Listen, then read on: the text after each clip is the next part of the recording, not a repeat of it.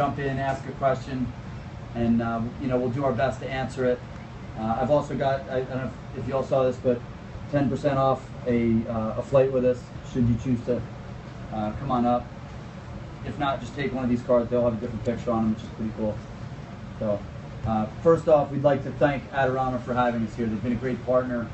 Um, you know, the tagline, it's more than just a camera store. They've, they've done a video with us. If you've seen that online, it's pretty cool. Um, stuff like this where, where we get to get out and meet people and see some of the fans that we have and answer some of the questions and get more and more people involved. You know, that's what we're all about. So, you know, we love that. So we'd like to thank them for that. Um, so with that, let me, you know, I'm gonna I'm gonna jump right into a PowerPoint here, and you know, I'll start. Um, let's see if it works the right way if I do this. Perfect. So, so New York on Air. We we started like Tim said, you know, three years ago. Uh, if everybody remembers Hurricane Sandy, um, we had a nasty storm in New York, and it wrecked a lot of both Long Island, the city, areas of Staten Island, Queens, Brooklyn, uh, caused a lot of damage. The Jersey Shore was certainly not spared, you know, in any way. Um, we both live in New Jersey, and you know, it was this thing initially where let's get up, let's take some pictures of damage, let's see what happened. Um, they weren't really letting people into any of the damaged areas, so it was kind of like this experience where, you know, we were both awed and you know, upset and psyched to take pictures all at the same time. You know, and I think that there's a lot of like journalistic type photography that feels that way. But you know, for me, I had never really been in a helicopter other than once or twice, and it was an opportunity to go up and take some pictures in a way that that I had never experienced before. So it was exciting to be up and have a direct connection with the beach and the houses that were destroyed and all that. You know, and then pretty quickly, what happened was we started having thoughts like, you know, taking those pictures was um, was different, but you know, we've got this amazing city right in front of us. Um, you know, we were based in Kearny, New Jersey initially, and still are. But that, you know, the point is the helicopter's in Kearny, New Jersey, so it's a two and a half minute flight from the Statue of Liberty. Very quickly, we were thinking, let's go take pictures of New York City. Right? And you know what happened there was um, Tim and a couple people that he knows through the aviation business, and Tim will tell you a little bit about his background in a second got together, um, decided to, to, you know make it a business, start taking pictures, start building a social media presence. I mean, I don't think we were using words like that at the time, but you know the idea was like, let's get some pictures, let's put them on the web, let's sell some prints, let's put them on Instagram and see who see who likes it. You know, um, we good? Cool. So. Um, why don't you talk a minute about the background of how you and, and Pat and Vin and everybody got together? Well, I started flying about 1995, um, and wasn't into photography at the time, but I was into plenty of movie watching and, and enjoying the cinematography aspect of it. So I kind of knew the direction I wanted to go. Uh, but that's way early on. But as Paul said, Sandy came around, and uh, our our CEO Pat and I uh, decided that we'd like to try and we found that the stock industry, as far as New York is concerned, maybe was a little dated. Uh, the buildings, you know, still some of it, they were still showing signs of the World Trade Center. Uh, so we thought we were both very into the photography aspect of it and wanted to repopulate in a grandiose way the uh, that part of it. And having access to aircraft and uh, and photographers was our uh, was our stepping stone into that. And it really just evolved into taking taking cool pictures and getting a very positive feedback from uh, on on Facebook. Really, that was our start. Uh, and Instagram slowly followed after that. Uh, I mean, I remember when when when you guys started. I wasn't part of it yet. Um, you know, I had gone up with Hurricane Sandy, and Tim said, "Let's go up again." I've got this thing going with these guys, and you know something's coming of it. I remember looking on Facebook one day, and they had like a couple thousand followers, and then I looked like a week later, and it was like forty thousand people were, were on top of it. I mean, it was probably wasn't a week, but it, it, it felt like that. So I, I, think the response was was immediate. Um, you know, the drone industry is kind of picking up, right? There's there's people taking pictures above the ground now from you know, a few different, you know, there's, there's different ways of doing it. And, and one way of doing it is this helicopter. Um, you know, we call it Mike Hotel, but, um, you know, the helicopter's a twin star. It's got two engines. It's got two hydraulics, two hydraulic systems. It's a dual hydraulic. Dual hydraulic. Right. So See, T- Tim's clearly the pilot. Fail-safe. Um, you know, the important thing is, you know, when you're flying over some places populated as New York, that um, that there's a lot of safety involved. And you know, we, we like to say we're as much a safety company as we are an adventure company. So, you know, I want to point that out at, at, at each step because what you're going to see are images of people sitting in a helicopter with no doors, a harness, all that kind of thing. It's uh, it's really very safe. Once you get used to the concept of it, it's it's uh, while it's still exciting, it's not as scary as it uh, might look. So that's one view of the helicopter. That's another one. Um, I don't know. Why don't you tell us a little more about the helicopter itself? Well, the, the helicopters are bigger than your kind of your standard helicopter. Uh, this one that we operate is called a, like Paul said, a twin star. It's twin engine. Uh, it's got so therefore it has two engines and seats. You can comfortably seat four, but it's got seat for six. So when we take our folks up for, for our uh, photo flights, we usually have maximum of four passengers. That way, it gives uh, everyone access to the uh, to, to the doors and the windows. Uh, the fact that we operated Twin Star is uh, over the city is, like Paul said, a uh, more of a safety feature. We much prefer to have multi-engine flying over Manhattan. Uh, God forbid something happens, uh, we have redundancy in that in that regard. And as a pilot, I, prefer, I totally prefer to have a little redundancy. Uh, so I feel much more uh, much more comfortable doing that. Um, they're fast. Uh, they're very stable. It's a very stable platform. You see a lot of these these type of aircraft are uh, used in electronic news gathering and and in the, and in the film industry. Before I knew Tim was going to be here today, I looked up. I, I, you know, I like look at you know Wikipedia, the helicopter, look at some things, and one of the things that came up was gross maximum takeoff weight of like 5,000 something pounds. So um, this was a, a shot of two guys that came up with us a few months back. They're both off, they both weigh 325 pounds, and I flew with them. So um, They're New York Giant linemen. they are New York Giant linemen. Um, point is that it's you know like Tim said, it's a very stable platform. So um, that's the helicopter. Um, moving on, you guys saw some video. Um, you know this is the camera system that that we use to to shoot video. It's mounted under the helicopter. I didn't have a good picture of, of it mounted under the front of the helicopter, but It mounts to a, a, an arm that sticks outside of it. It mounts to the landing gear of the helicopter, and it sits outside, and the operator sits on the inside and drives the camera. Um, it's it's a very sophisticated six-axis gyro-stabilized camera. It's called a Shotover F1. Uh, and we actually have two cameras that we use in it. One's a red Epic Dragon, uh, and we shoot mount that with a 30 to 300 Canon lens.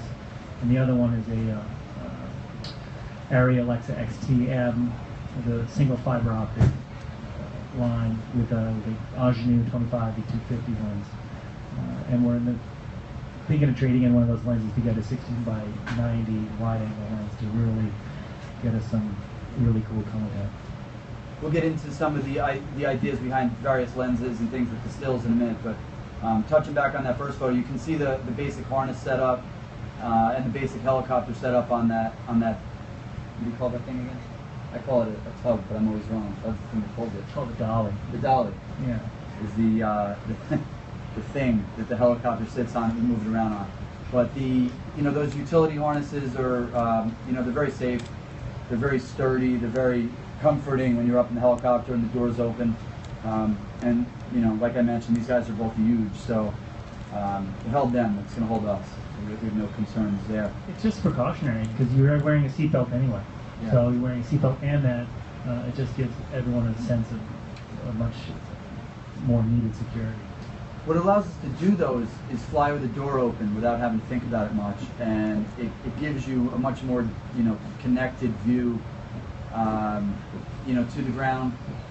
Um, you know, photographically, you feel much more connected with, with everything you're taking pictures of. Um, this is a view from inside the helicopter, shortly after a takeoff, and and this is a view from from another helicopter, looking at a couple people taking pictures from the helicopter. So um, the guy in the front there is Vin Farrell. He's one of uh, he's on our board of directors. He's one of the contributing photographers. Some of the pictures in here might be his.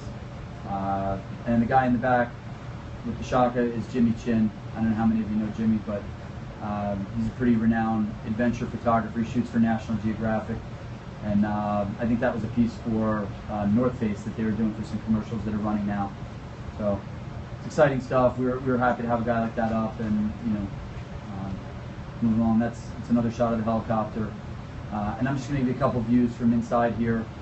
Um, you know, basically that's what you're looking at, you know, shooting at the World Trade Center. Uh, a different view from downtown shooting out. So, you know, that's kind of the look that you get. That's the experience you get. Whether, you know, whether we're flying for, um, you know, and this gets us into a little bit about what, what we actually do on a day-to-day basis. There's some production work. You know, sometimes um, they might be with the video camera out shooting a commercial. Uh, it could be for a movie. Uh, there's some movie credits if you look on our website. It could be uh, real estate work for a building in the city here. Um, in this case, um, that was actually shoot for the people that uh, manage the World Trade Center. They wanted some dawn shots for, uh, for, for, I think for a print for their lobby or uh, you know some commercial collateral. Um, this was a FlyNYON shoot. I'll get into into that in a second. Um, you know, basically, again, at the beginning of the company was kind of throw some stuff at the wall. We go up, we take some pictures. We know we want to take great pictures in New York, and then what do we do with it? You know, we try to sell some prints. That's fine. We put some stuff on Instagram. It grows quickly. Put some stuff on Facebook. It grows quickly. Little by little, um, we started getting phone calls. First, they were phone calls from people that knew Tim and some of his um, some of his colleagues that, that fly from the commercial um, flight part of the business, and you know there were calls like, "Can you take pictures of our building? Can you come film a commercial? Can can you do some of that kind of you know production work for us?" Um, ultimately, though, as the as the social media aspect of the business, you know, built up, and I'm gonna I'm gonna ask Lexi to come up here in a second, um, and we can talk about that. You know, what happened was really the social media thing just grabbed it, and it kind of took off.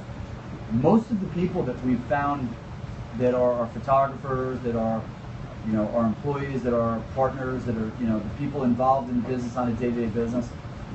Almost all of our fans and customers are all people from only a couple social media platforms. So it was really interesting how social media kind of took off with it, and and then created another business out of that. People started calling and saying, "How can I get up and fly?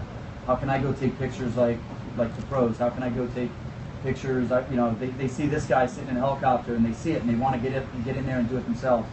And and it was kind of cost prohibitive. You know, I mean, these aren't cheap machines. They, they cost a lot of money to operate, to insure, to staff, to to maintain, to fly, and to fuel. So, you know, it, it's it's an expensive proposition. By by leveraging social media and crowdsourcing the flight and building a booking engine, engine and pulling all this together, we were able to get, you know, anybody really, or almost anybody, can come out and, and fly with us. And, you know, it made it a lot less expensive to do. So basically what we'll do is we'll take two or three or four people um, and, and kind of squash groups together. And, you know, when we have three or four people, we'll fly, you know, and we'll go up on a flight like this and, you know, and, you know, you, you see what, what can happen. Um, Lexi, why don't you come up for, for a minute or two? Um, Lexi was somebody that came to us through social media. There, there was a contest that we held. He'll tell you a little bit about it. Lexi won, and um, now he works. He works for the company full time. But before he was a photographer. Um, um, yeah, so my story was kind of weird. Um, a lot of people think that I got involved with Adorama because I'm such a big time influencer on Instagram, but that's not really the case. Um, I started out by following these guys loyally on Instagram, and one day they had a contest to, as they were flying around New York City, to write the name New York on air in the snow, and they'll pick their favorite. Um, a friend of mine, Natalie, kind of commented to draw my attention to the feed. And it was seven hours after the post was up. I had no clue if I was going to get a chance or not. I commented, "Are you flying over Staten Island?" which is where I live. Um, and I got an instant reply back. We'll be there in 10 minutes. So I run out of the house with a snow shovel to the nearest tennis court, finish writing NY on air in the size of an entire tennis court and half a basketball court. It was massive. And as soon as I finish it, I hear a helicopter approaching, and it happened to be our CEO flying the helicopter, waving at me, and that was like the most awesome day of my life. Um, later that night, my phone started blowing up because of Instagram notifications, and they apparently saw this sign from five miles away.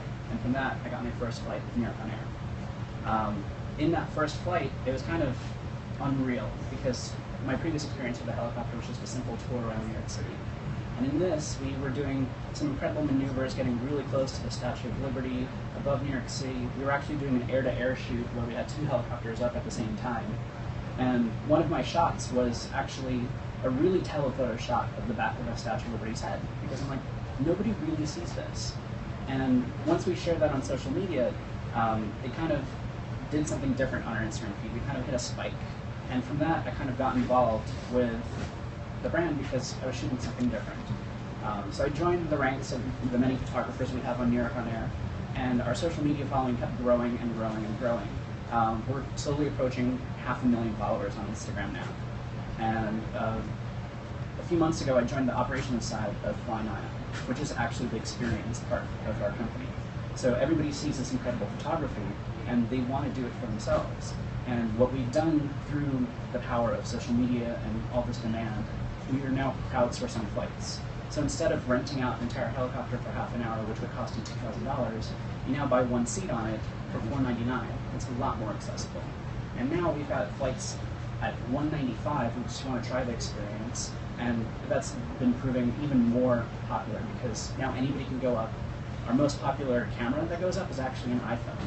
So we want to give the best access to the skies. We're in New York City now, we're in Miami, uh, we're in the process of launching in San Francisco and LA, um, world domination after that.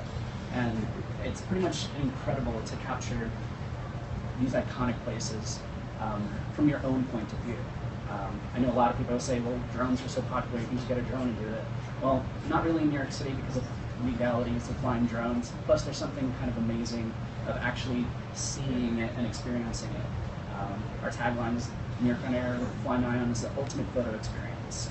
And it really is an experience where you come in, you get strapped in, you connect your cameras, whether it's an iPhone or a medium format camera, and you fly above New York City with your feet dangling out of a helicopter. It's amazing. I mean, like the number one thing people ask about are shoe selfies now. You can't do a shoe selfie with a drone um, unless you kind of like attach a center, which is kind of weird. We'll figure it out. Um, maybe one day. Um, but yeah, so it's kind of incredible how social media has provided a platform where you can now make aerial photography accessible every day, and that's what we do. Um, we have very busy weekends. We fly weekdays, um, and it's incredible. Lexi, you know, as a as an influencer on Instagram and social media in general, you feel, you know, I mean, obviously one of the goals of bringing people like yourself up for New York on Air was to help us continue to gain relevancy in the photography community. You felt like it did the opposite as well. Well, I mean, it kind of like it helps you grow as something because now aerial photography um, is something that people recognize. Three years ago, when we were first starting out, it was completely new, but now it, it's not new, but it's still as exciting. So people are super excited when they see aerial content. It's probably like I shoot different styles on my feed, everything from abstract to product photography, and aerial always takes the cake. Everybody wants to see the city from a fresh perspective. Um, and people constantly want to work with us, whether it's brands, photographers, or just everyday people. Um, so it's kind of putting the content out there generates even more desire for more content. And the city is constantly changing. When I was shooting a couple years back, I mean, there's skyscrapers that are up now that didn't exist. So the kind of the landscape of New York City keeps changing, and it'll keep changing. Um, so with social media, we can kind of keep kind of fresh content nonstop. And now we're starting to share our customers' content because some talented photographers are coming up and they want to share their skill sets. So it's not just the core team; it's anybody that flies with us can share their work, um, and that's pretty exciting. Cool. Thank you very much. Thanks. So, you know, for lack of having a better um, thought on how to present some of the photography, what, what I thought was, you know, at first I was thinking like, you know, the normal route that we take when we fly, but there really is none. It depends on on what we're doing. So, uh, what what I decided to do is kind of organize these photographs, in, not in chrono- chronological order of when we took them, but sort of seasonally. So, I, you know, I started uh, back with this shot. Tim actually took the shot. Um, you know, I think that's a fall shot. It looks fall-y to me. It might be one more winter, but I tried to organize them kind of winter, spring, summer, and then back at the end into um, what, you know what we're shooting right now, which is autumn, and then a couple of specialized things that we do. So, um, you know, I'll kind of flip through them. Um, anybody have any questions so far? Okay. I want you to think about these in terms of um, four things. One, the equipment that, that might have been used to shoot them. Um, two, you know, one of the things that's a little tricky, one of the questions we get all the time is what are the settings? Right, so camera settings in terms of, you know, shutter speed and ISO and aperture and, you know, all that kind of thing. We can get into that a little bit. Um, what other equipment we might use to get some of those settings. Um, what techniques, burst mode, et cetera, that, that might be used along the way. And then some of the, you know, some of the unusual conditions that you're going to see here that we, you know, that we take. Like this is a little bit of a hazy day. This is obviously dawn. This is more evening. So, um, you know, keep keep those four things in mind as as we go through them. Um, you know, the next two shots here, this this and and and this are both World Trade Center shots. Um, this was one of the first shoots I was was ever on. It was a dawn shoot. Taylor Mason shot that. Um, it's a sunset shot. It's a sunset shot. That's not a dawn shot. It's a sunset shot. The one before that was That's the dawn. That's why I have it backwards. You are, yes. So I was on this shoot, not the other shoot. I was on both of those too. Well, you were flying the Yeah, helicopter. right. So, That's a dawn shot. You can see from the perspective that you're looking to the east and the sun is reflecting off the backside of the catch of the building. And then on the next shot, you can switch to that, the reflection is from behind. you can see that. I can see that from the. I can see that too. Very good. Um, I, I, I'm pretty sure that was a winter shot. I'm not sure about about that one. That, when did you shoot that? That one. Uh, I think that was probably a late fall winter shot. That's a pretty long lens, right? With 300 millimeter prime. That's why you can bring in. This is before. If you look way in the back, you can see the. Uh, what is the space shuttle on the Intrepid back there? And now it's covered with a uh, Like by some tent. sort of shelter, Yeah, shelter. tent or shelter. Tarp. Yeah, They threw a tarp over it. they did. They did. It's too bad. Uh, yeah, can't shoot it from the air anymore. Um, so World Trade Center. Uh, this is a shot I took. This it was Columbus Circle, obviously. You can see some. I mean, did you get the cursor yet? Um, you can see some Christmas lights at the Time Warner Center there. Um, it's a shot I like. A lot of these are going to be mine when I put the presentation together. I like me, so you know, Tim knows it. It's all good. Um, but Good shots. but Columbus Circles, you know, I, I don't want to say it's a constant landmark. When we when we go up, you know, the first time people go up, there's always some things they want to see. They always want to see Statue of Liberty. Not always, but you know, as, as a general rule, they want to see the Statue of Liberty. They want to see downtown financial district. They want to see the bridges in the East River. They want to see Central Park. They want to see Columbus Circle. They want to see Times Square. So, Empire State Building. and the Empire State Building, More the than anything. Building. More than anything, you think? Yeah, for sure. Yes, big. ESB? ESB. ESB. Um, we definitely have some ESB shots in here. So uh, this shot's from 110th Street, looking down after after one of the snowstorms last year. Um, again, you know, we refer to that shot and sort of this one uh, as one of our money shots. You know, when when people go on our website and they look around in our gallery, and and they're looking for content, whether it's whether it's a print they want to buy or a stock photograph that they that they want to license, um, or whether they're prepping for you know their own flight and they're looking at what they might want to go shoot. This view and and this view and uh, and this one always are the three that really come into into play the most. Um, everybody wants to get They over get the most Park. likes on, on social media. That's how we know that they're the most popular. It's a good way of looking at it. too. Yeah, absolutely. Um, this is really the shot, right? I mean, not mine, but the you know this view is is the money shot. We've we've taken this shot. Um, we've got uh, Jillian took one that we love. Um, we've got three or four other photographers. Everybody shot, that's gone up has shot this photograph. So, um, you know, it's a matter of getting the right light. It's a matter of getting you know in this shot. What's unusual is there, there's snow on top of some of the buildings and in the park. Um, but the statue, you know, the statue, the uh, the ferries, the light off the building, the you know the, the compression of everything in the financial district. Everybody likes this. It's sort of iconic New York. Um, So you know, there's there's the Empire State Building, talking of iconic New York. Uh, I'm not even sure who shot that, but um, it was one of the shots that we've used before on social media. You know, it's in our gallery. You know, we, we, we love the sunsets and sunrises. You know, when you talk about the conditions, you know, of the four things to look at, right? Um, if, if you want to go up and take pictures, and, and if you want to shoot outdoors in general, I mean, you know, it's not a bad idea to start with the hour after sunrise or the hour before sunset. So, um, you know, you get some great shots like these, you know, at that time.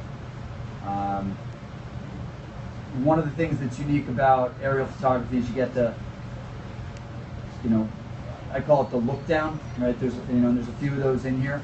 You get these straight down shots. This was shot with a really wide lens. It was a 14, 24.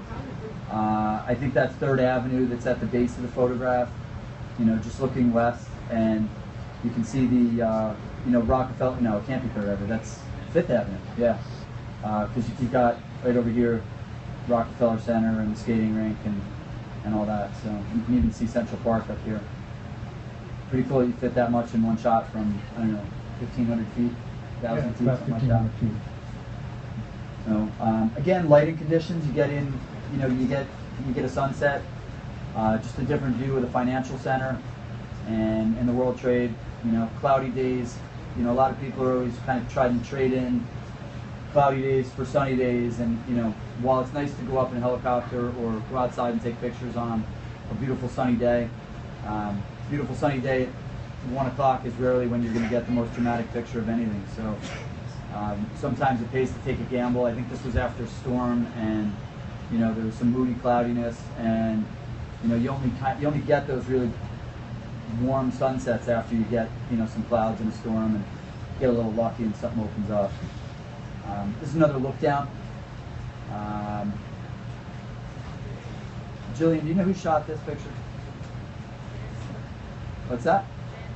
Jan Silva. Jan Silva shot this photograph. Uh, he's one of our more prote- uh, popular photographers. Uh, I think he's he's probably our most you know most watched Instagram follower. You know, certainly sells sells the most prints of things that we do. You know, historically anyway.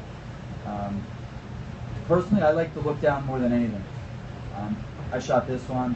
When when you shoot a look down, you know you're looking for one of two things really. Um, you're either looking for geometry, you know, so you get some cool geometry, you know, in these, right? Everything in New York is great because it's, you know, it's lined up via some kind of grid. Here you get some funny angles.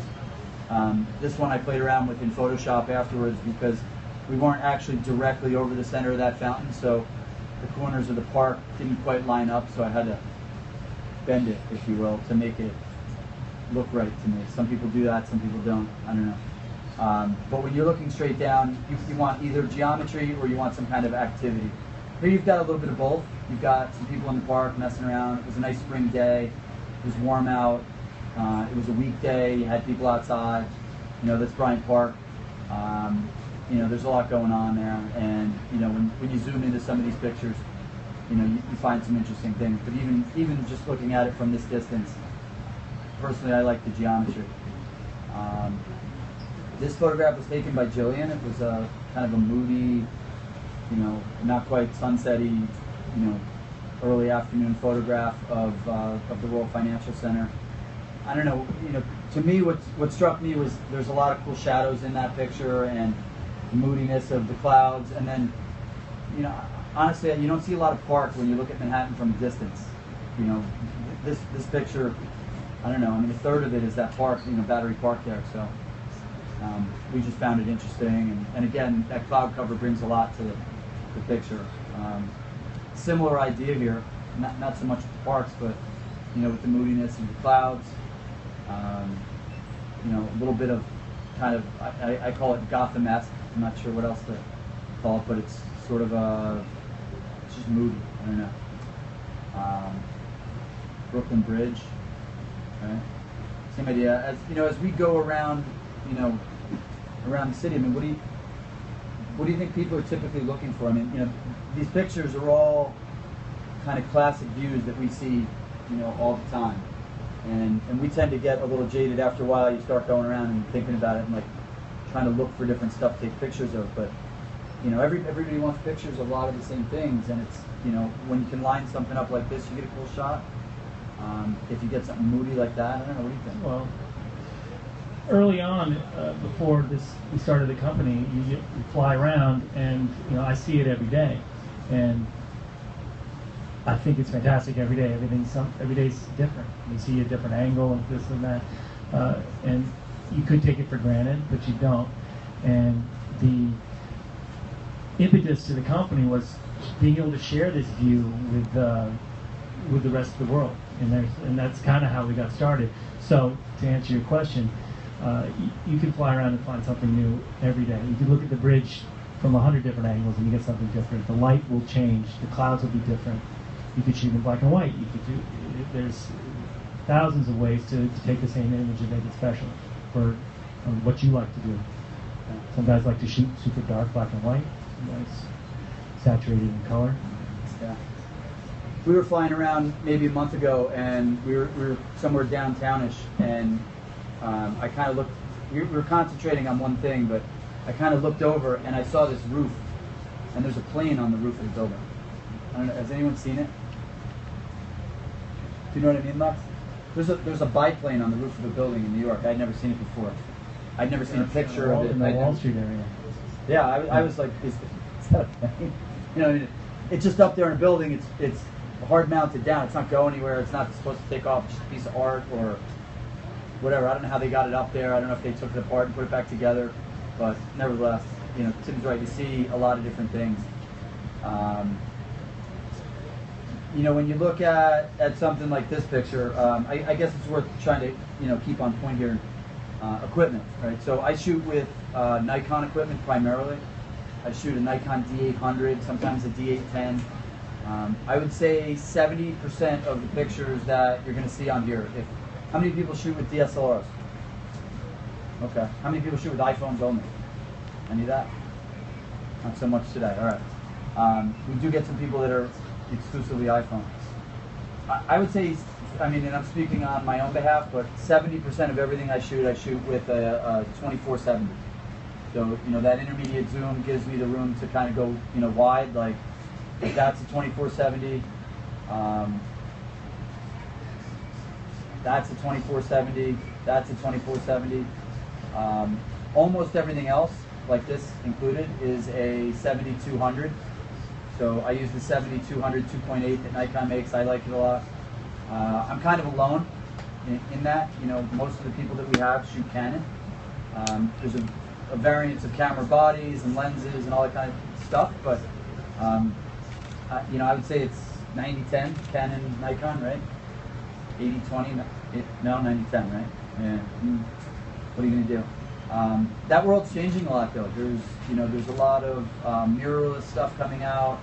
Um, the guys here at Adorama can help you with, you know, with what's what. I saw, um, I saw a Blackmagic Cinema count, the camera on the counter over there. I've never actually seen one in per- person before, so um, that's pretty cool. There, you know, there's just a lot changing with equipment, and as the iPhones get better and better, you know, the six was a big jump. Um, before it was even released, we had a guy that came who was working for Apple. What's his name? Ben Lode.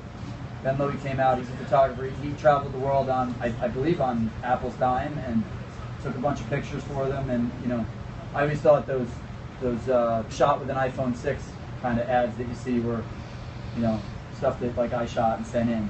You know, it, they're they're organized campaigns with guys that are really talented and, and, and good equipment, but the equipment is is is just an iPhone now, and, and that's what's kind of going on. So I think it's pretty cool. Um, like I What said, are you shooting with? I mean, you're shooting with Nikon and D800, but to get these shots, are you what kind of speed? Can you talk about the settings that you're using? You know, because it's, Sure. it, I can tell you what, going up, and you think, yeah, I can get that. And the first few times, I was like, I didn't get any of that. It's awful because it's Yeah. a lot of movement. Um, you got to remember, you know, think about shooting out of your car window, driving down a highway, and you're moving in one direction on one axis. So, you know, in, in a helicopter, you might not necessarily be going, you might be going 100 miles an hour, or you might just be going, you know, 20 miles an hour. You might even be hovering, but um, everything's moving in three different directions. So the helicopter is moving forward and back, left and right. It's turning. You've got different altitudes. Um, you've got to be willing to sometimes, if, if, if it's moving enough, you've got to be willing to back the zoom up and take a shot of something, knowing that you're going to have to crop it and straighten it out later. Um, I, I would say the, the single biggest Lightroom feature that I use on almost every single shot that I ever take, I've got to level it a little bit. You know, I use the, the grid in the camera viewfinder so I can try to line up the horizon. Sometimes, um, you know, you know, like here I've got a horizon and that's great. Um, but here, I, you, you know, here you don't. So you kind of just look down the middle of the bridge. You shoot in burst mode. Um, it gets a little hairy with, with some of the, the newer, more advanced cameras. You know, if, if you're shooting a D4S or the, the Canon's even faster. I mean, 13 frames a second, something like that. I mean, it sounds like a machine gun going off. So um, really quickly, you can find it took a thousand pictures on a, you know, on, on a shoot. Shoot in burst mode? I do, but I keep it relatively slow. You know, like three frames. A se- I set it for like three frames a second. Okay. Um, you know, so, so something like this. I mean, I remember taking this picture. We were going kind of northbound past the bridge, and, and I was looking out of the helicopter, and I said, you know, what I want is this shot. I want it to line up right down the middle of the bridge.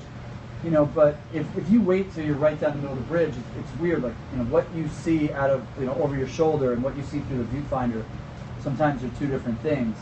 So I, I find personally I'm always a little late if I wait to do it that way. So I wait until I'm almost there, and then I kind of just light it up, and you know, and, and maybe from you know being over one road roadway to the opposite roadway, you know, I might take two or three pictures. And look, sometimes you get it perfectly, you know, lined up. Sometimes you don't. Um, there's a shot where you know I showed you that that, that view before down from Central Park South. Um, I've been trying to perfectly line up the needle on the Empire State Building and the needle on the World Trade Center for like a year now, and and it's dumb, but it's now it's like you know, I want to own that. You know, it just hasn't happened, but um, I've gotten pretty close. You can see, still see the needle just a little bit left to right. But the point is, you know, when, when you want to get a particular view, you got to visualize it a little bit more ahead of time from a helicopter than you know than you might standing on the roof of a building for sure. And you know, I mean, I don't know where else you're getting that view, but if you think of something on the ground, it's like trying to shoot something that's moving. You kind of gotta um, think like a quarterback and you know throw to the receiver, if you will. Um, That's assuming the shot is in focus, right? If you shoot in burst mode, correct, correct, correct me if I'm wrong, shoot, and it's not really in focus, all those bursts are going to be out of focus, right? that would be horrible. It's horrible. Yeah, Did that happened happen me. to you? Yeah, quite a bit. So now I don't shoot in burst mode. Me too. I just recompose every shot, but you can be quick at it. And the cameras are fast enough now that you can you can shoot, you can recompose every shot rather quickly. Or you could set the camera not to refocus on every shot, Yeah. but you know. Just whatever I mean, you, you got to be There's a comfortable lot of different ways. One one recommendation, and I've seen it a few times now. People have come up. Um, you know, I, I did it myself. I had um, before I had the D800, I had a I think a D90S and then a D300. And when I made the jump to the full frame, you know, I was like, I'm going to take these awesome pictures. I'm going to get up in this awesome helicopter. I didn't know how many times I was going to get that opportunity, so I wanted to make the best of it. Um, so I went and I rented. Um, you know, I came to Adorama or um, or you know one of the rental companies. I'm not even sure, but rented you know this awesome camera, and you know then you get up there and it was a it was a night shot, and and then you realize it's not like an iPhone where it lights up.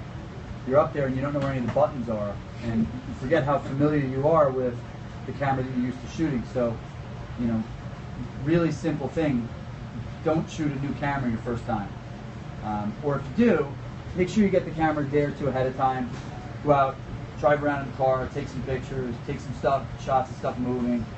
Um, you know, the differences are, you know, the thing that Tim was talking talking about on the Canon, I forget what they call it, but on, on, on Nikon, you can have you can set it for continuous focus, where it, it continues to focus as you you know shot to shot. So it's it's great for sports. Somebody's running at you, you can fire away and the camera continues to focus in, or you can get it to just lock in and and, and shoot. You know, you got to remember everything in everything from a helicopter pretty much, uh, unless you're trying to shoot, you know, like those shots that we had at the beginning where it's you know, I'm trying to take a picture of somebody taking a picture out of the helicopter. You know, we call it behind the scenes, but um, if you're taking this shot or this shot or this shot, everything's at infinity already. So really, you know, if you're shooting a long lens, most of the new lenses have the ability so the lens doesn't have to hunt all the way through the focus range. You can set it on long focus only. You know, it'll hunt that last little bit to infinity and back. Saves saves the lens some time. Makes more of your shots in focus. Um, I, I think it's one of the easier components one, of, of taking the picture once you get that dialed in. So um, no big deal. But I, again, that burst mode's great because you know sometimes there's something in the edge of a photo that creeps in or creeps out. Sometimes um, you know sometimes you just miss the shot. You know if you're trying to line something up the right way and you want it, you know you want it perfect. So ha- having those bursts are great. Cards are the point now. It's not like you know we had a guy up a week or two ago that was shooting infrared film. Right? I mean, the guy's got three cameras, three rolls of film. Infrared, you can't load in daylight. You have to load the film in complete darkness and unload it in complete darkness. Not even with like a red light. It's not even like black and white film like in the past. You know, this guy's got 90 pictures he can take. You know, or you know, 104 pictures. That's it. And and he went up and he ripped through all the film really, you know, pretty quick. Um, we have a luxury now, you know, with uh, you know, e- even with the newer cameras. Tim, Tim's Canon shoots 50 megs. My my my D800 is a 36 megapixel file, so you know, even even with those big file sizes now in a 32 meg card, I can take three to 400 shots before I run out of space. So, you know, there's nothing wrong with shooting three or four or five shots in a burst. Um, you know, some people, you know, we see that come back have you know, they go on a 20 minute flight and they've got two cards burnt. It's a thousand photographs. You're like, all right, you know, they took pictures of two different things and took 200 pictures from the same angle. So it's it's worth being a little restrained and, and concentrating on the composition, but you know, at the same time, take a few shots. You, you never know what's going to creep in or um, or be in the way or not, but not be in the picture the way you want it. Um, so I'm going to flip through. I'm, I I think we got a little bit behind here. I want to just catch up a little bit. Um, this was shot, um, uh, also taken by Taylor Mason. It's it's a shot of yoga in Central Park. I don't remember what the construct Times was. Square. That's what I meant. Times Square. it's not, obviously not Central Park. Um, what would you remember the, the, the point of the yoga? It was, it was sort of Lululemon Lululemon? event. Yeah, they sponsored that. And it was a thousand people doing yoga in, in Times Square. That's a thousand. Yeah. Well, I mean, that's what they said it was going to be. I don't have You the photograph, but we did air. we did a thing for a different group of people this year. In Cent- it was in Central Park. It was ten thousand people doing yoga. That was also Lululemon. That was Lululemon Yeah. too. Low lead. Oh, low lead. Low lead. Very similar. Yeah. Not, not according to them. um, this is the West Side Hudson Yards. Um, this picture was taken, you know, I mean, again, we, we, we do different things. This was an event sponsored by Lululemon. Um, it's for a charity to raise money for awareness. This was a pure real estate job. The people that are, are redeveloping the West Side over here, um, you know, they want some shots. This this vista is going to look dramatically different. It already kind of does, you know, and in, in the frame right here, this building's already like, you know, 50 stories high. Um, this whole area here is going to be covered by other buildings. The whole west side there is going to look totally different. So, what they wanted was, um, you know, and it's part of what we do. We went out, we took some pictures like this. They have a virtual reality company, you know, a CGI firm that's going to build using computer graphics, um, build their their new skyline in here so they can show everybody what it looks like. So uh, sometimes we do a little bit of that too. Sometimes we're just shooting stock images, um, you know, either for our own social media awareness, uh, you know, or to you know to put on Shutterstock or, or one of the, the similar companies. So somebody might need this view of, of that that little spot in Central Park. Lexi, you took this shot, right?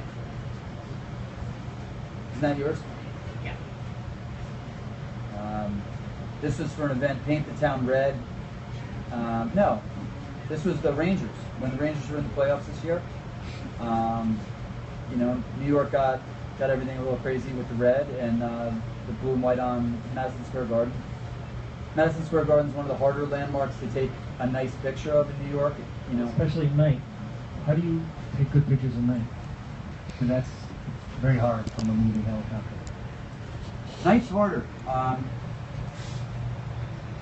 I'm going to show you uh, a picture, some pictures at the end where, where we went up a little bit higher altitude. And um, if you're familiar with the concept of just, you know, if anybody that's done any studio, anybody done any studio work, um, you know, when you, you know, you, you find out that it's it's reciprocal. I mean, it's, it's a square root function. The further you get away from something, the light just falls off immediately. So everybody thinks of when you, when you think New York City bright lights, you think of Times Square, and yeah, it's incredibly bright. Um, so is the area around the, the garden here. But you know, when you get up to a couple thousand feet over the city, you find that you're in blackness. You can't see anything in the helicopter other than the lights on the, you know, in the cockpit. Um, when you look down, most of the city looks black. The outer boroughs look look very dark. The water's black. And and as you take those pictures, you find that you know it's it's very difficult to capture any any level of detail in these bright areas and maintain any level of detail in these dark areas. So um, you know what you've really got to do is is sort of um, personally I underexpose everything a little bit, knowing that I can you know with the, with the new technology I can bring out a little bit more detail than than I used to be able to. Um, you know the lights are going to be there anyway, so I don't have to worry about that. You know you boost the speed as much as you can with the equipment that you've got. You know on my Nikon, I'll shoot 3200 as an ISO, but I'm more comfortable with it at 1600. Anything beyond 1600, you start really getting a lot of noise.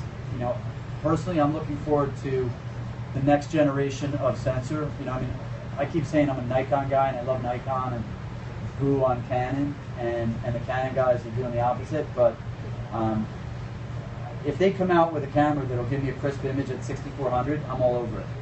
You know, I really don't care who it is. That that's I think the next big leap. You know, they're doing this megapixel war. There's a Canon has a 250 meg sensor out there now.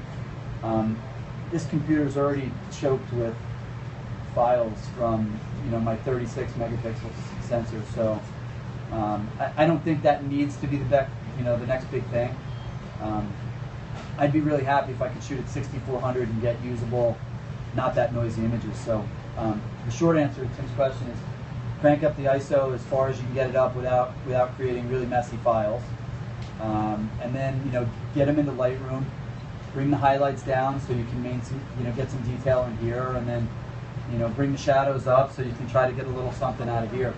Um, but it's hard, you know. I mean, these pictures, one of the functions of taking those highlights out is it really oversaturates everything in the colors. So you see here, I didn't I didn't intentionally oversaturate these these colors, although I'll cop to it. I'm known to do that.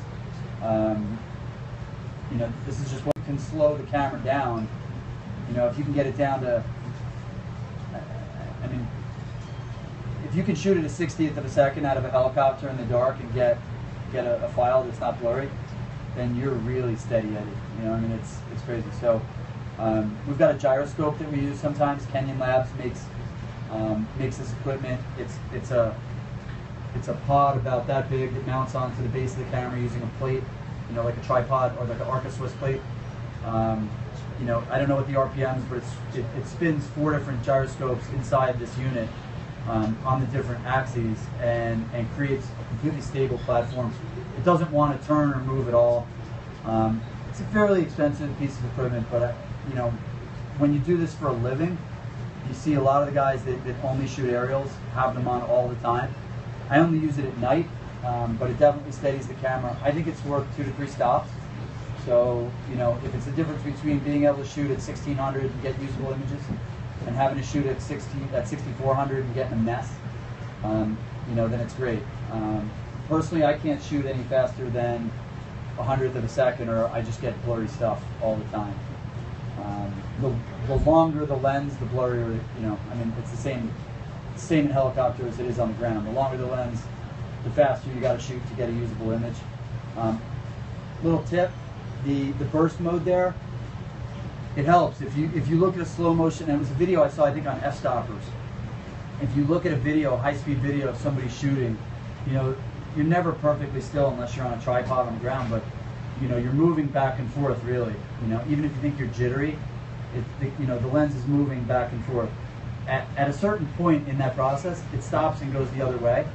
So if you shoot five quick images and just fire through it, um, the, one of them might catch that edge where the camera's really not moving. And you know, what, what I noticed, if I take five of this shot, one of them's great. One of them's always way better than the other four. It's never two of them. Um, if I just try to shoot one, no matter how steady I get, it's a mess. You know, so I just shoot four or five. You know, in the dark, I just try to shoot more, and you know, you have to get a little bit lucky. Um, some people are better better at it than others. I'm not the steadiest, uh, but I'm not the worst either. So, um, gives you an idea. Another big thing is don't lean against the helicopter. The whole thing's shaking. All right. That's 'cause- thousand pieces moving in unison to get you off the ground. There you go. Um, on the equipment, you know, if if I knew how to zoom in more, um, I'd show you this this shot, and you know, and I'll and I'll post it later on Facebook. But um, this was Governor's Ball on Randall's Island. Um, we were at like a thousand feet. I was shooting with uh, a lens I rented. It was a Nikon 200 400 f4. Um, it zoomed all the way out. You know, once in a while it makes sense to to get out of your comfort zone. The thing weighs like 12 pounds. It's impossible to shoot. Um, you can't line anything up at all because out of a helicopter the whole thing's constantly moving. But you know, again, you put it in burst mode. You get you get what you want in the middle of the frame and you fire away. Um, you know, what I was aiming at here was to fill the frame with people and not have any any dead spots, and it was pretty close. So. Um, what's cool is I would say 25% of those people are looking up at the helicopter. Some of them are waving, some of them are making faces.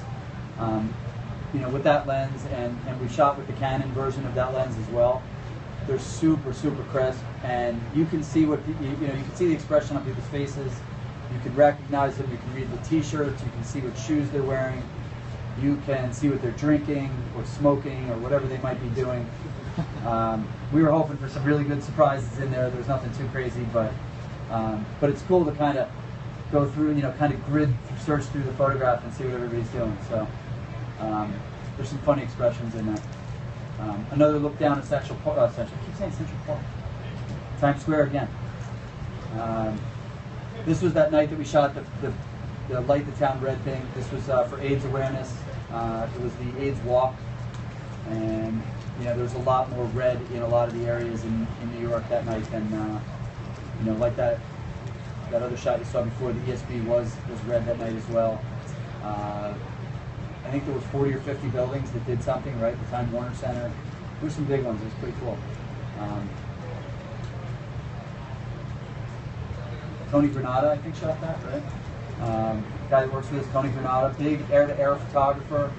Tony's pretty famous. He shoots a lot of uh, planes for all kinds of entities, um, helicopters, planes, old war warbird planes, new planes, jets.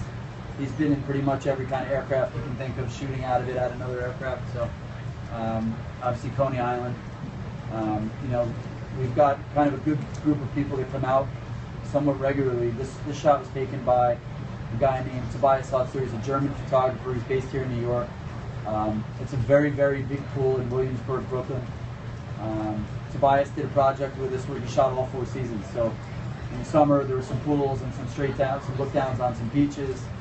Um, you know, in the fall it was some foliage and some parks and people doing stuff. In the winter, some cool ice skating rink shots.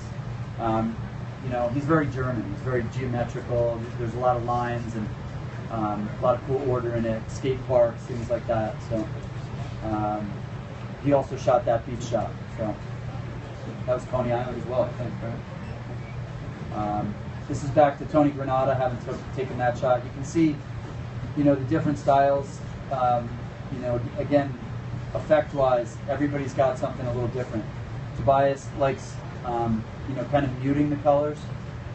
Um, Tony likes shooting them as they are, you know, a little bit more saturated on summer days. If you underexpose everything a little bit, it tends to look that way. Um, I shot this, you know, I always go, I never even realized it until I started doing this a little bit more, but um, I tend towards the dark.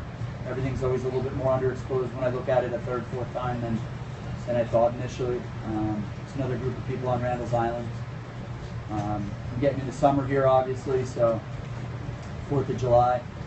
Uh, Tony Granada shot that Fourth of July, not this year, last year, and um, you know it's from over Weehawken or Hoboken, New Jersey City, probably. Looking over. Um, it was a different series of shots this year. I'll show you some other ones in a minute, but this this was stuff over the you know, the Hudson River. Um, this year it was over the East River, so you get a little bit of something different. Um, a little bit different aspect ratio, but you know, funny story. Tim and I went up to shoot this shot. It was a cover for the thousandth issue of Time Out New York, and you know, and they ran it with they, you know, they well, yeah, turn it up that way. Um, what was what was the what did it say in the? What's that? Roof there it is. That was the yeah roof there it is. So it was a it was a cover.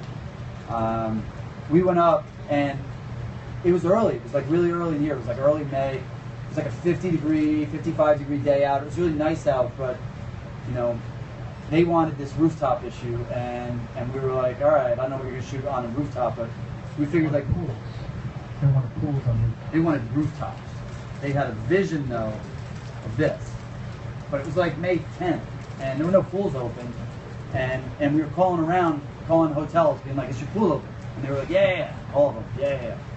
So they wanted the Gansevoort Hotel, so we called the Gansevoort. I spoke to the lady at the Gansevoort. I got the the the uh, hospitality manager at the Gansevoort, and she was like, "Pool's open, bikinis, palm trees, umbrellas, lawn furniture, pool.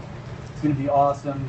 I'm like, tomorrow. She's like, yeah, yeah, you're all set. It's it's rocking up there.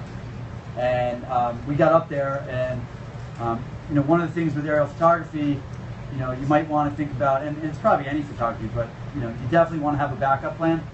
Um, any, any of you see Caddyshack, the scene where they emptied the pool and they were cleaning it out? Like we got up there, and there were two guys in like hazmat suits brushing the bottom of the pool, and there's no water in it, and there was no bikinis, and there was no palm trees, and there were no drinks, and there's nothing over the Gansevoort. Um, I, I didn't even see it. Tim was like, "It's right there." I was like, "Where?" And he's like, "Right under us, right one o'clock." Know. So there was nothing in the pool. Um, we had a backup plan. This was only a couple blocks away. We zoomed over, took this shot. Um, fortunately, they were pretty psyched with it, and, and it, it did run as a cover. So sometimes you got to have a, a plan B. Uh, so this was over. I mean, I guess we're just over the harbor there, sort of east of Governor's Island, kind of creeping towards Brooklyn. Fireworks this year. Um, there was a lot of traffic up there that night. It's, it's way darker than it really looks. You know, again, the equipment's good. You know, I mean, you're, you're getting to the point now where you can take pictures at night and, and really pull a lot out of them.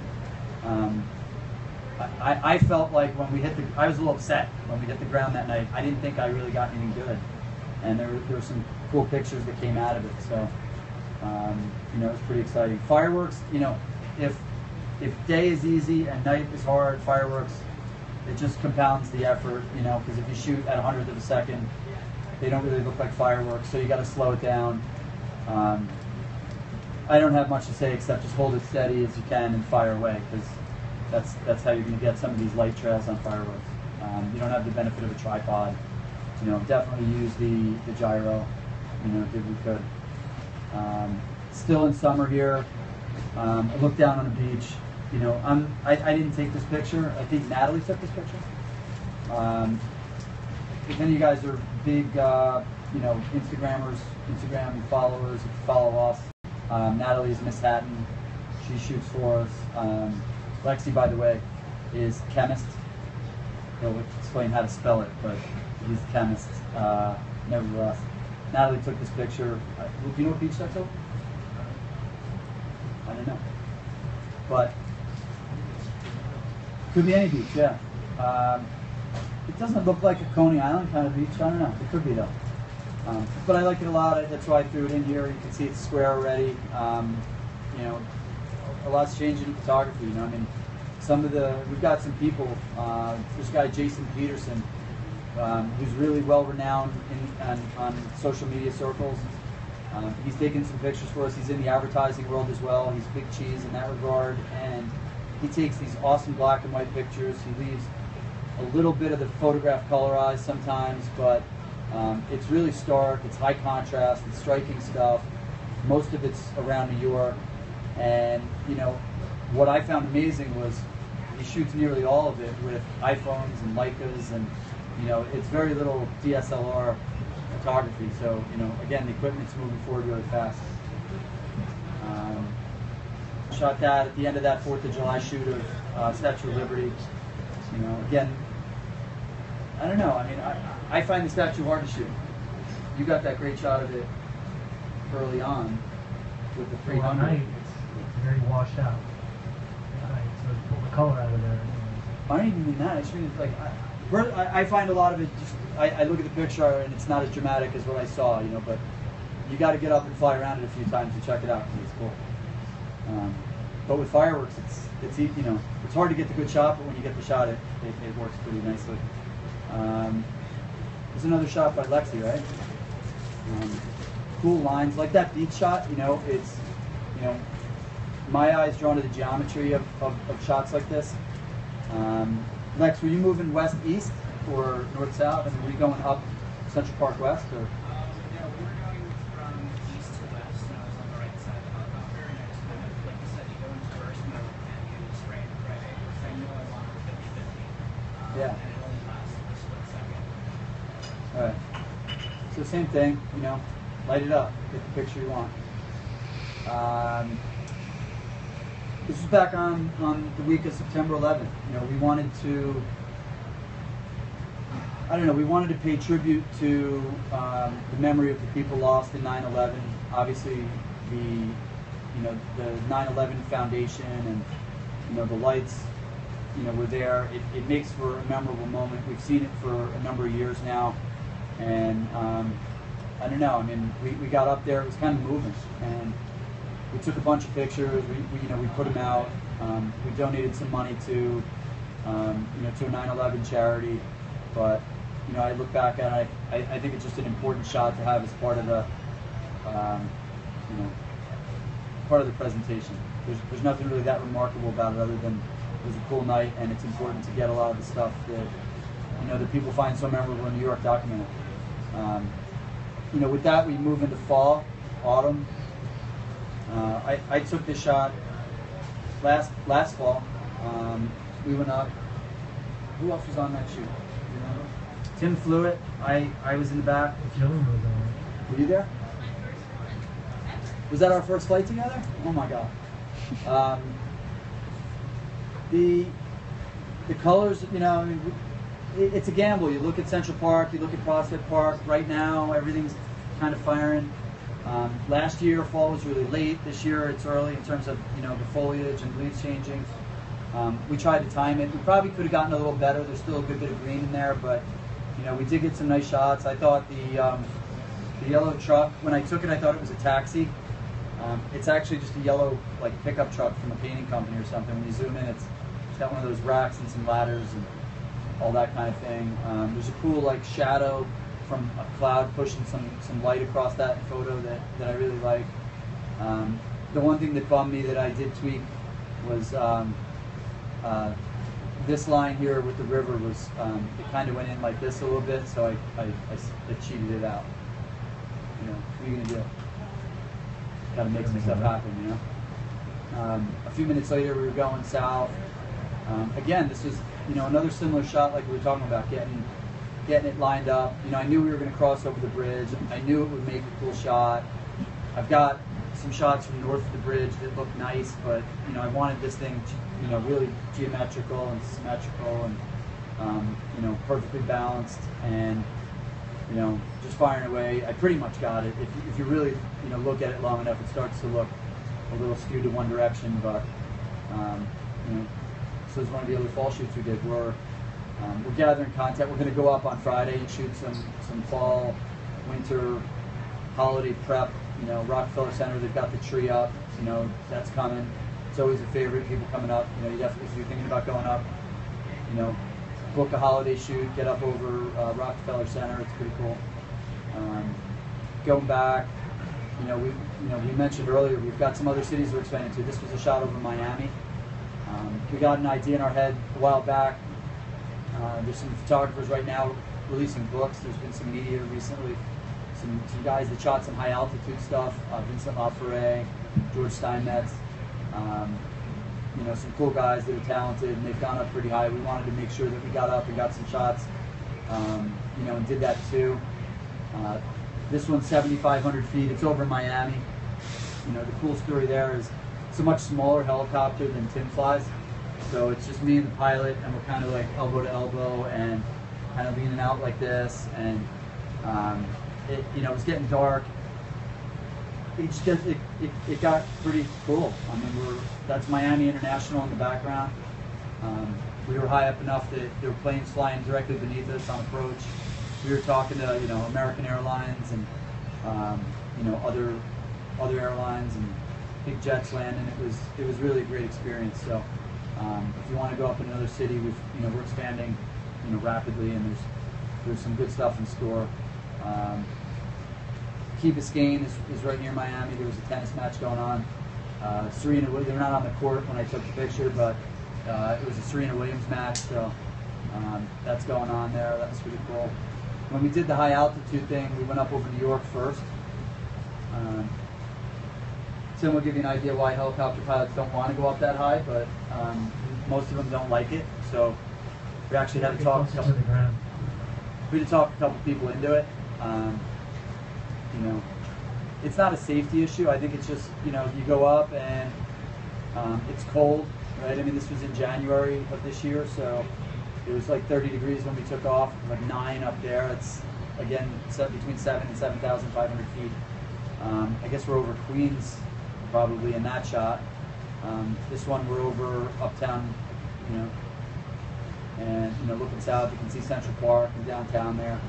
Um, but it gives New York a whole different you know, quality. You can see the, um, you know, the, the blue, which are definitely dialed up a little bit in the picture, but you know the the lights that you see now that are getting built out, the, the LEDs, definitely have like a bluer light to them. And the old sodium lights that you see in neighborhoods like the Lower East Side, you know, over here in Brooklyn, uh, Hudson County over here, and even you know, surprisingly the Upper East Side. Um, you know, they haven't ripped a lot of those old sodium lamps out, so you have you have like a warmer orangey light. Um, you know, from space it looks even cooler, but we can only do what we can do. You know? So high. Right. There is a picture that NASA guy took though recently that was on uh, Facebook. You can see this, but it's from you know 30 miles, 50 miles up, whatever. I don't know. Yeah. Um, you know, and then sometimes we just go the other way. Rather than going high, we go low. We take some industrial stuff. Um, you know, we're over in Hudson County and Kearny. There's a lot of a lot of cool, um, you know, industrial things going on. So that that gives you an idea of, of what it is we do. There's Um, just so much to shoot. There's the city, the buildings, obviously, but you can, you know, I think the dry docks are really cool. Uh, you can see boats on the river. There's just so much to see when you go around here. yeah. Uh, and New York on Air was created to share that with uh, with you all. So uh, please come fly with us and experience it for yourself and take some killer shots because uh, I guarantee you you'll get something you love. Cool. Now you guys got to have some questions. Uh, so you use a gyroscope sometimes. Do you use uh, the image stabilization? No, No. no. Um, we, you know what? It's, it's probably worth experimenting with a little bit, but um, that, that was a question that we had immediately. As soon as we put the gyro on there, you're like, now what do I do with this? Um, the people at Kenyon Labs said turn it off. Okay, so but if you're not using the gyroscope, yes. Yes. Anything to help your uh, the shape. And, and also, uh, are you strapped? 100%. And the camera itself? Am I personally strapped? Yeah. Yeah, I, w- I wear a utility harness like you saw. Um, Yeah, you're strapped uh, to the helicopter. Your camera's strapped to the harness. Everything's strapped. We cannot afford to have anything. No hats, no glasses. It's nothing can fall out. So You want everything's two hooked up. lenses, you bring two bodies? Yes, correct. bodies. So what we'll do is, um, you know, the cameras. We, we make sure your camera's got a strap on it. We use carabiners, um, and we strap your camera to your harness. Um, it's and you know it's even more redundant than that. You can see this this iPhone case um, that I have. I mean, you know, we use these. We, we sell them. We use them. The phone just pops in. but it's got a little loop here, and, and we made some with um, permanently safety wired and a little carabiner. So, you know, if you do want to go up, I mean, like Tim said, we can't afford to have anything go wrong, so we make sure it's flawless. Um, you can't drop it. You know, you let it go, you just let it dangle, whatever. You do the same thing. Bring two camera bodies and an iPhone, no problem. Everything's strapped in. Um, with the gyroscope, I mean, even that's a, a five, six, seven pound hunk of metal. Um, you know, I, I strap the camera in and I strap the gyro in, even though they're attached with that Arca plate. You know, I don't know. I mean, it's dark. Maybe I undo it accidentally. I don't want any disasters, so you know, so we make sure of that. What else we got? Uh, when it, when you book a flight, um, how how is it determined where you're gonna go? I know uh, I know that there's the popular attractions like the Empire State Building, the World Trade Center, but I also saw some shots of Coney Island um, and other parts of You, the work you can work that with your group because you may want to go see the Empire State Building, want to spend your entire flight there. Someone else may want to go see the, the statue, for example. So it's the beauty of what we're doing is that it's it's it's a it's a customizable product where you and the group decide where you want to go. Um, and there's plenty of time, in, especially in the 30 minute, to go see everything.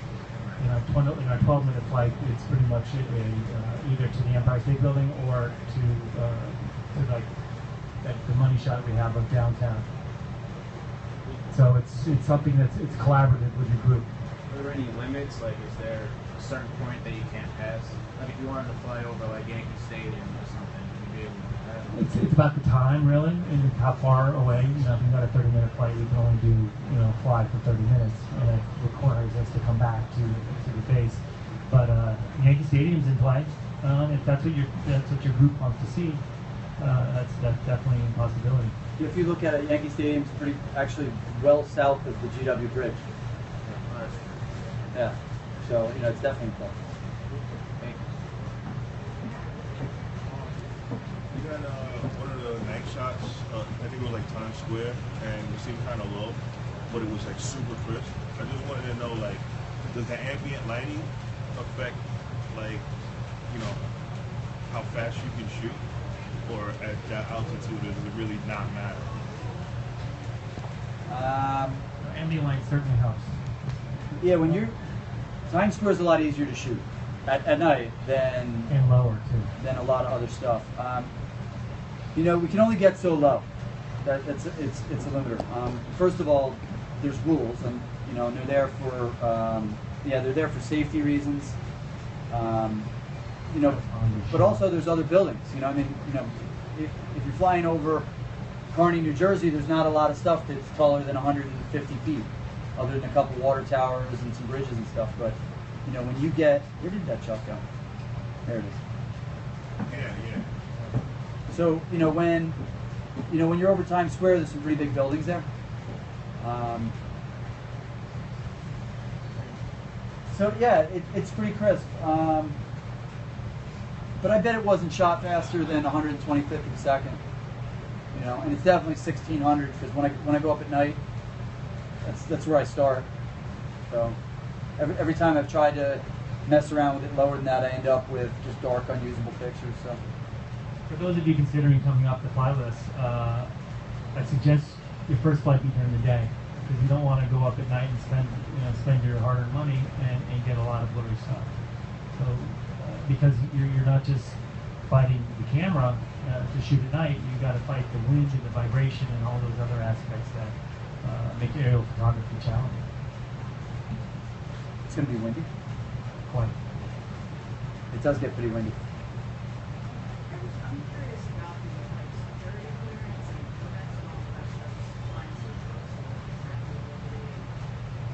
There are uh, there, there's not really security uh, limitations. Uh, we have our own federal regulations as far as how close we can fly to buildings and, and altitude restrictions and all that. But as far as uh, security-wise, the only time we have a problem with security is when uh, a president comes to town or any of the dignitaries, uh, where he shuts down the airspace. You get no, uh, you can't do anything. Or the UN's in town, uh, Yeah. those kind of things. But flying around the buildings, we like to be, obviously we fly uh, within what we're allowed to fly regulatory, regulatorily, anymore. But uh, with your camera lenses and the technology, you can get you can make stuff look close a lot closer than, than what you are. You know, a lot of a lot of these shots were 2,000 feet, which is plenty. You know, it's uh, plenty of room. You know, is that thing kicking out? of you? I think so. You know, that being said, um, can't believe I have to answer this question. Tim, um, as a pilot, is constantly in communication with, you know, when we take off in Kearny, we're in communication with Newark Airport because we're essentially in their domain. When, when, when you cross over to the East River, you're in LaGuardia's domain. When you're over the city, you know, I mean, you're constantly con- communicating with either the airports or the NYPD or, you know, like you said, it's not so much a security issue. They know who we are. We're up almost every day. You know, they know the helicopter. There's, there's all kinds of technology, transponders, and you know they know where all the aircraft are.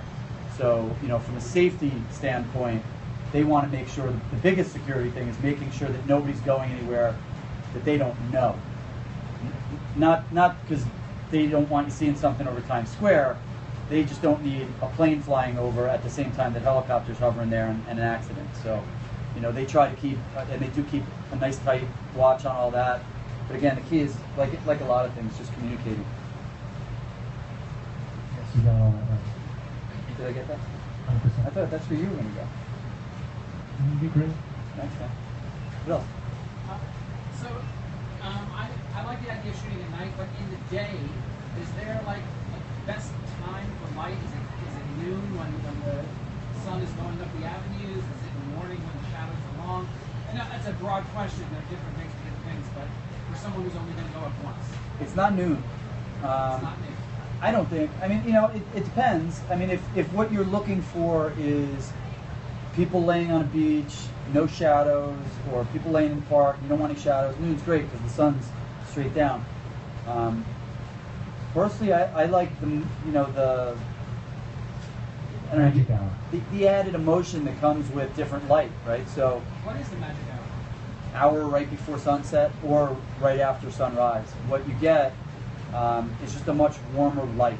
You know, the color temperature of the sunlight is warmer. So, you know, picture the the portrait of somebody like sitting out on the porch and the sun and the hair and the, that golden glow from the sun, the low light, and you get a lot of shadows because the sun's low in the sky. So um, you get buildings throwing shadows across stuff and Another question: Do you, do you have to have a full flight to go on, or you go up with one person on typically we won't um, just because it's not really Economic. economical, So which is, which is why we why we you know crowdsource the, the thing in the first place. The Minimum would be three, uh, but we would certainly try to find a fourth to go on on that flight. So But four to is get, plenty you of have room. to get three or four people that are looking to go at the same time. No, we work all that for you. You just sign up and, and we'll make it happen for you. Uh, if, the question more importantly would be where what you want to see. That's what you got to work out with your your your, uh, your flight mates. If you go on um, that website and put your information in, you'll be logged in. You'll get our newsletter, all that. You can put your credit card in. You can book a flight. Um, Kate will call you, find out when you or, or email you, find out when you want to fly. Are you looking to fly in a weekend? Are you looking to fly now? Are you waiting until the spring? Whatever you want, and and we'll work that part of it out. And then you know if you want to say, look, I work during the week. I can only do it on Saturday or Sunday, and I want to fly at Magic Hour. You know, that's great. You're not the only one. You're not going to be the only one. Maybe maybe that makes you have to wait a little longer, a few weeks, months, whatever. I don't know. But you know, it, we'll, we'll we'll build it together. And when when this gentleman here and this young lady here sign up as well, right? All of a sudden, there's three people. You're going to get a call like, "Hey, it's game on," and and there, there'll be a flight. And you know, we'll try to find a fourth. I, I've been on your website. I've talked to friends about doing this with me, Yeah. and I was just returning equipment here, and it just happened to be that you're here. So Yeah. Very happy with The easiest thing is if you do have friends that want to go up as well, it does simplify it a little bit if, if you call us up and say, hey, I already got a group, you know? Is it the same thing for night flights? Because I know on the website it goes off a little bit at like you know around like sunset. We try uh, from from our experiences for and I don't want to imply that anyone's a novice here, but it's very challenging to shoot at night. And so we don't want our you guys to come back and say, man, I didn't get anything. It's all blurry. so we prefer, you know, but if you want to arrange a night flight, we can we can make that happen. Uh, we're more than happy to uh, to accommodate uh, if you really want. We to do get re- we do get that request. So you know, if we have a few people that want to go up at night, you know, we'll put a few people together and we'll go up and do it. I've been up with you before. Like, Oh, okay. Sunset was challenging, so I could imagine. Like, like, it gets to the point where the light just changes. But I'll tell you, night is oh, spectacular. you can kill It's that. cool. You're. It's awesome. It is really cool. What do you got? Nothing? All right. Yes, sir.